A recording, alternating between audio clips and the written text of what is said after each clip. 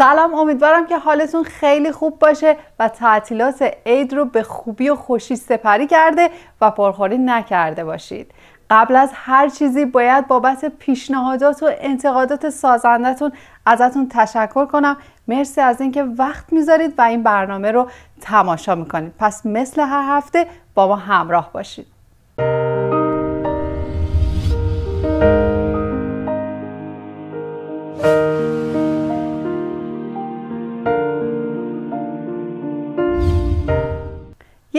قهوه در شب می‌تونه به راحتی خواب ما رو دچار اختلال کنه. به خاطر اینکه قهوه حاوی کافئینه و کافئین هم به راحتی خواب ما رو دچار مشکل می‌کنه.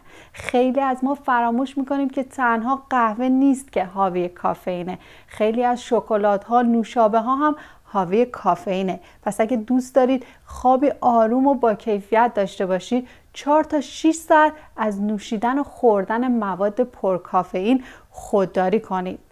و از اون برم همه ما می‌دونیم که نوشیدن مایعات برای بدن لازمه. ولی نوشیدن بیش از اندازه مایعات در شب باعث میشه که ما مدام برای رفتن به دستشویی از خواب پاشیم و این باعث میشه که خواب ما اون کیفیت لازم رو نداشته باشه. و باید یه چیزی به خانوما و آقایون سیگاری بگم. فریب ظاهری آرامش بخشی سیگار رو نخورید. به خاطر اینکه سیگار داره ماده محرکی به اسم نیکوتینه و نیکوتین به راحتی خواب شما رو دچار اختلال می‌کنه. با ما همراه باشید. برمیگردیم.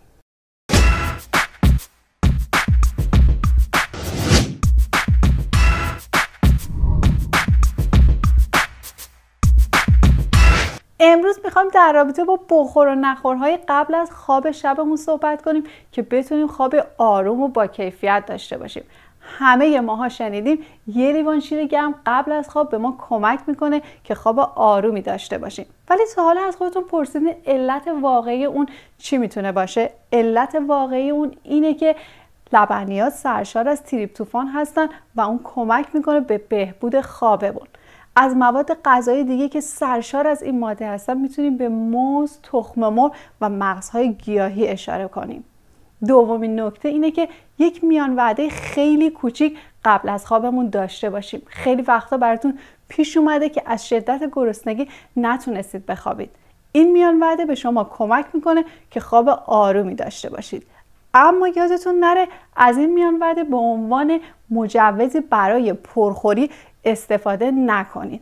چون غذای سنگین و دیر موقع باعث میشه که به معده شما فشار بیاد و باعث بشه که نتونید خوب بخوابید. یه بخش کوتاهی رو با همدیگه می‌بینیم و برمیگردیم.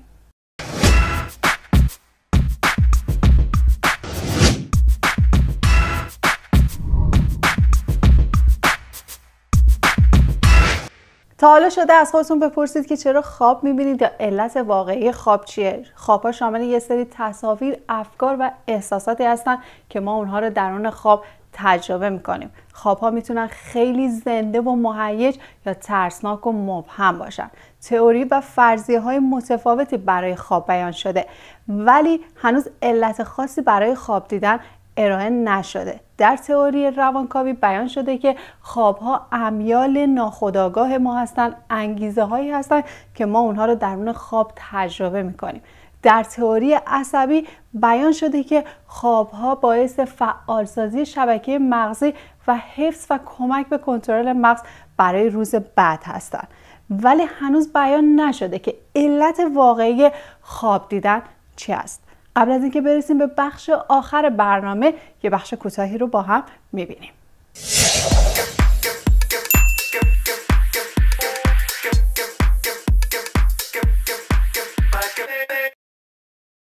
تحقیقات پزشکی جدید نشون دهنده اینه که افرادی که به طور منظم به یک نوع موسیقی آروم قبل از خوابشون گوش میدن از خواب با کیفیت برخوردارن. این تحقیقات حاکی از اینه که مغز انسان شامل دو نیمکره چپ و راسته که این نیمکره ها در پردازش متعادل با هم دیگه هستن.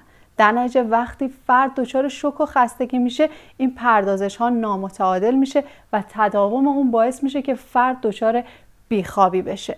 محققان این مورد رو بیشتر بررسی کردن و با رزونانس مغناطیسی به تصویر برداری از مغز پرداختن و به این نتیجه رسیدن افرادی که به طور منظم قبل از خوابشون به یک نوع موسیقی آروم گوش میدن خواب با کیفیت نسبت به افرادی دارن که به موسیقی گوش نمیدن. یه بخش کوتاهی رو با همدیگه می‌بینیم و برمیگردیم.